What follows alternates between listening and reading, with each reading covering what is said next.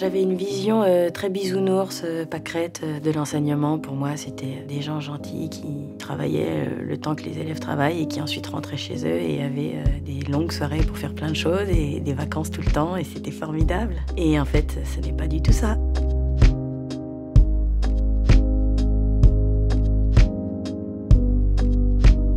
Les dix premières années, moi j'étais hyper motivée. Je bossais énormément, mais ça me plaisait, vraiment. Moi j'étais instit et euh, c'était c'était logique que je m'investisse en fait comme ça. Je m'en suis pas forcément rendu compte que je, que je m'épuisais.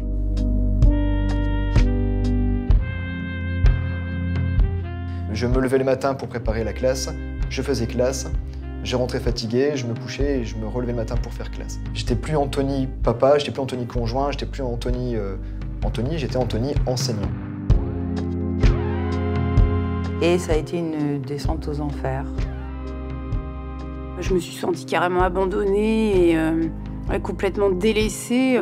Je faisais des appels au secours écrits, téléphoniques euh, et par mail et euh, j'ai pas eu de réponse institutionnelle d'aide.